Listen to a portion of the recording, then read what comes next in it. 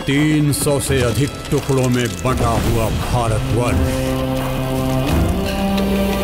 सनातन संस्कृति को नष्ट करने का प्रयास करते बहत्तर से अधिक संप्रदाय।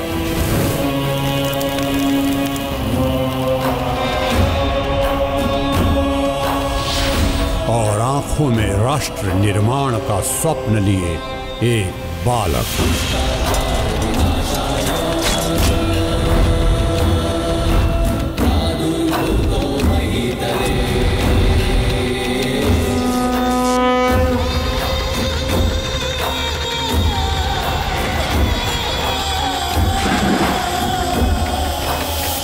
आदि शंकराचार्य भारतीय सांस्कृतिक इतिहास की महागाथा।